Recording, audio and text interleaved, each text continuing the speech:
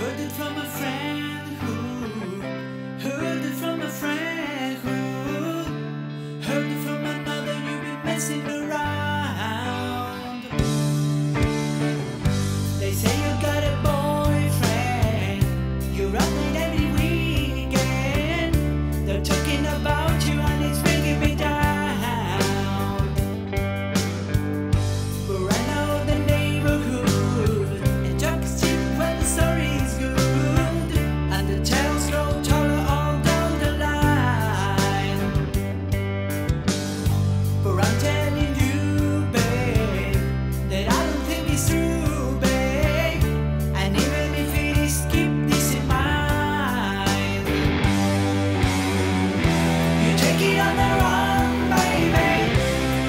way